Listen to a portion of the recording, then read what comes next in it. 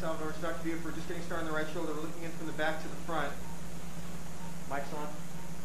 Everything you see is magnified 30 or 40 times on the screen. Uh, we've got some torn things here to look at and evaluate. And uh, we'll just go through this in a stepwise fashion here. Put in our shaver to help us smooth out some of these areas so we can see a little bit better. So as you look towards the biceps over here on the left and rotate up so we're looking at 11 o'clock. And over here. Um, here's the biceps tendon. As we, as look down at the anchor, this is torn. So we're going to do what's called the biceps tenodesis. And uh, we'll show you how we do that. First step, first step is going to be to pass the suture through to secure it. So we'll take the spinal needle, and we'll take a shuttle relay, and then we'll take our HiFi suture. Um,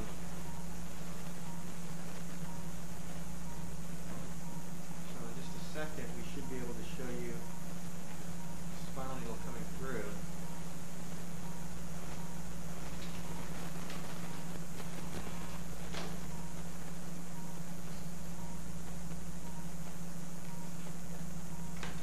So there's our first pass through the biceps. We'll take a shuttle relay and a grasp. But the shuttle relay is just a black wire.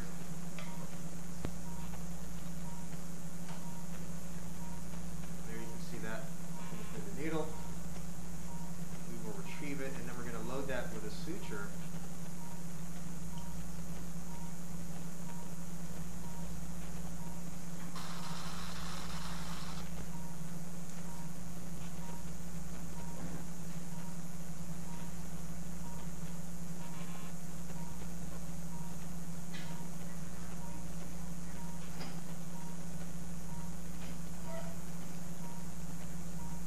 See how that pulls through.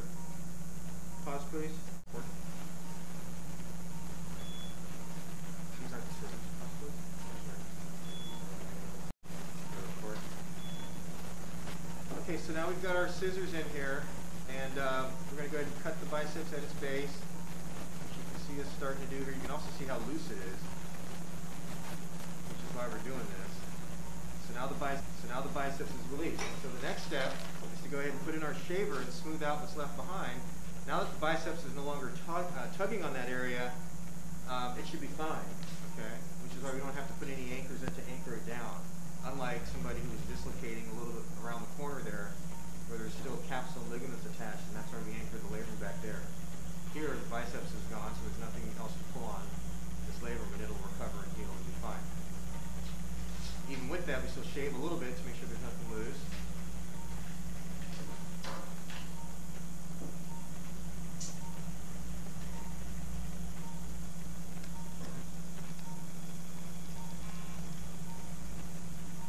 Okay. That's not bad. So now I'm going to look down the front of the shoulder. please. I'm going to look down the front of the shoulder because I saw some tearing in the labrum down in the front, and here you can see that. Back towards your belly. See that? So now we're going to debride this labral tear.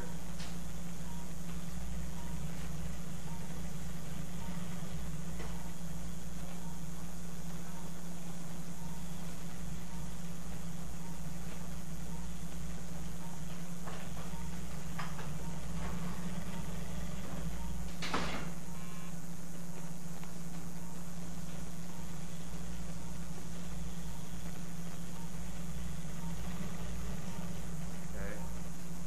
We'll try some more a little bit. Okay, so taking away all the loose cartilage and labrum. I think we're just about done with what we can do. You're good. Just about done with what we can do in the front. We're going to put another portal in in just a minute.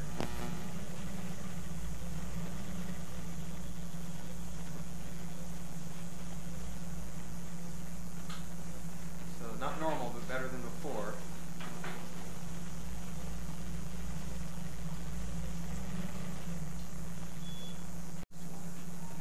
Okay, recording? Not real fast. Okay, so uh, we're looking at your subscap tendon. This crossing ligament is the middle glenohumeral ligament right in front of the subscap.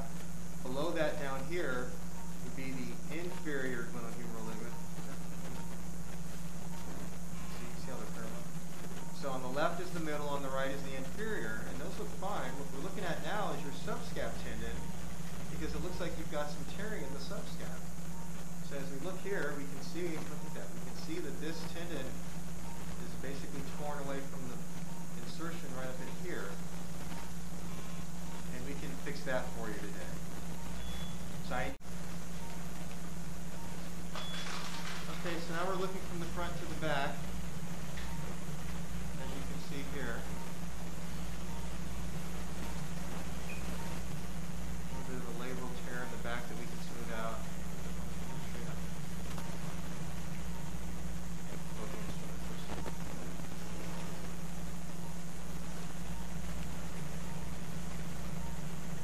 That looks better.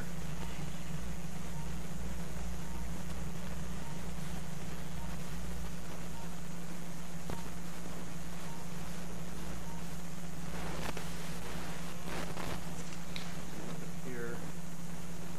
Maybe a little bit more we can smooth out here.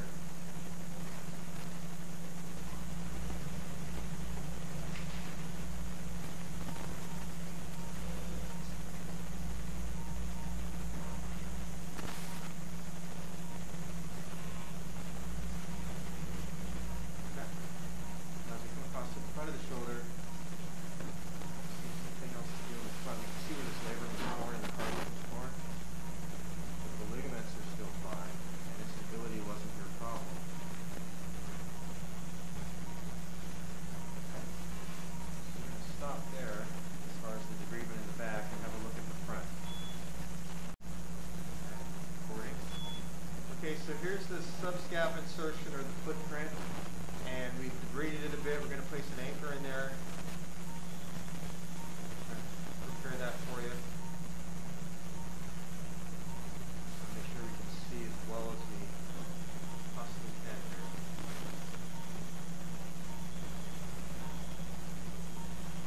Okay.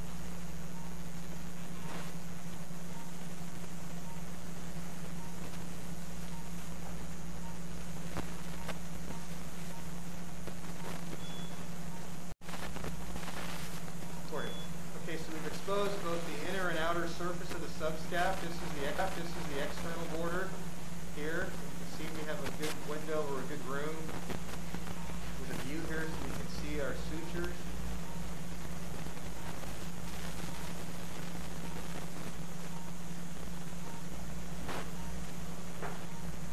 Here's where we're going to be placing our anchor. Okay, so we'll show you. Okay, recording. Okay, so let me back up and give you the overall picture here. We're looking from the front. We've got a yellow in the back. There's our subscap. We've got a blue cannula coming through the interval. And now we've got a needle coming through to check our angle so we have a good angle to place suture anchors.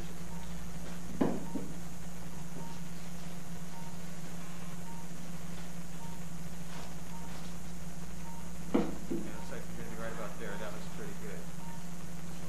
Okay, so let's go. We're gonna make a little nick in the skin, and then we'll show you some more in a minute. Recording. Okay, so here, here you can see we've got a metal suture anchor. We're just looking at the area exposed to see exactly where we want to put it. I think I want to put it right in the middle, which is right about here.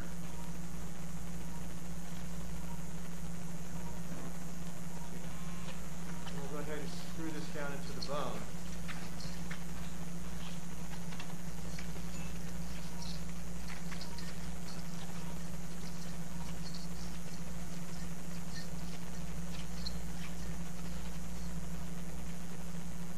Now we'll go ahead and unload that screwdriver and show you some more in a minute. Okay, so now you can see our sutures coming from that anchor. So here's the front.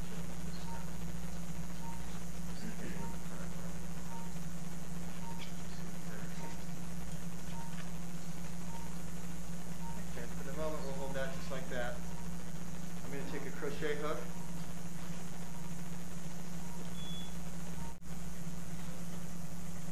Okay, so now we have one white suture coming out the back of the shoulder, and we're going to try and a stitch through the uh, through the subscap now.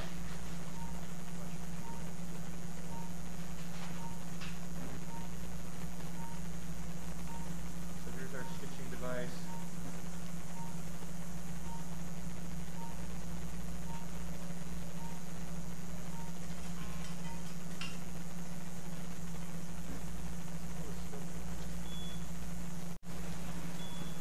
Okay, so we've tied two mattress sutures for the subscap. There's a white suture and a blue and white suture in there.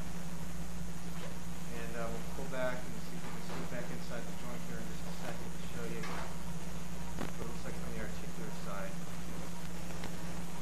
I'll show you that in just a second. Okay, so here we are looking inside the joint.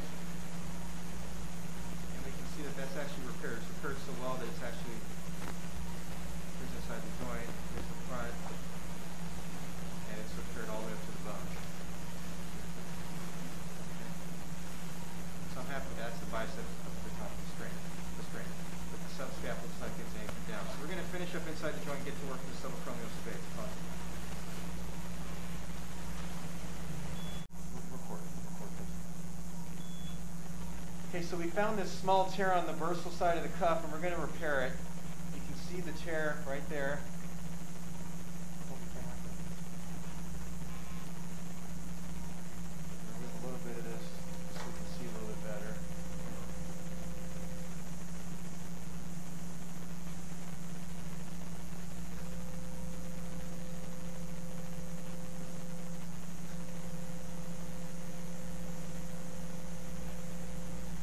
Okay, so now we've got a guide in. And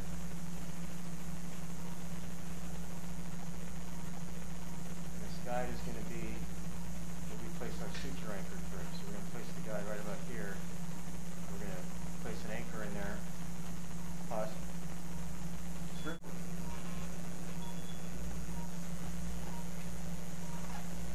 Okay, so, so we've got that cuff repaired. You can see the three sutures there. And I think we're going to place our sutures for the biceps down right about here. So let me see a spinal needle, please. I'll show you some more in a minute. Recording. Okay, so we're all done here. Let me see if I can give you an overall view. As we pull back here. So we did a decompression. That's the acromion at the top of the screen. And then here, um, that bursal side of cuff tear has been repaired right there. And then just to the right of that, you can see, oh, look at that one. See that suture coming down? Those two sutures right there are for the biceps, and those are anchored down through a PopLok anchor right there. So that looks great. We're going to finish up and get you back to the recovery room shortly. Good luck to you now. Bye-bye.